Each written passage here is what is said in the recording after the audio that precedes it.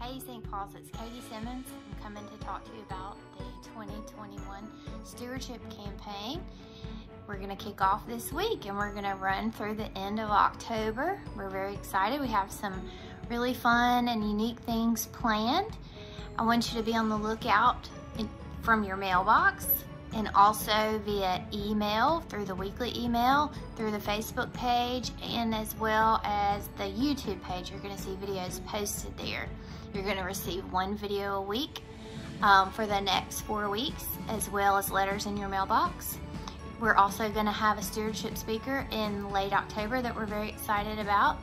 And following the stewardship speaker, you will be receiving some very, very special and exciting videos. You're going to get one a day from people you know and love. Um, leading up to All Saints and Ingathering Sunday, which will be November the 1st.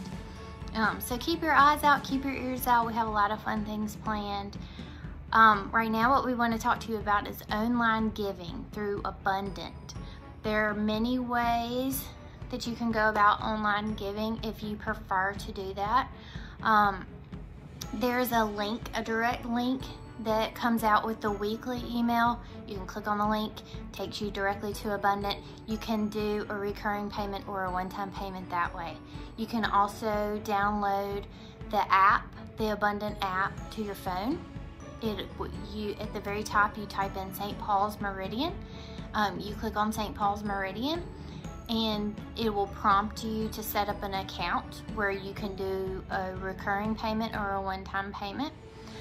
Um, also, which is my personal favorite way, you can text St. Paul's MDN, it's S-T-P-A-U-L-S, MDN, to 73256. Um, once you hit send and the text message sends, it will reply to you with a link that you can click on and you can make a donation that way. Um, and all of this information that I'm talking to you about right now comes out in the weekly email from Joan. Um, so be looking for that. Uh, in addition to your pledge, you can also give to St. Paul's in other ways, whether you're given for the organ or given for the Music and Mission Festival or given for a specific cause. You can do all of those things through online giving.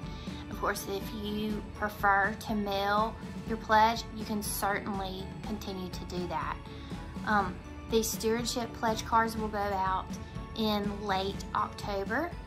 Um, and they will be due November the 1st, which will be All Saints Sunday and Ingathering Sunday.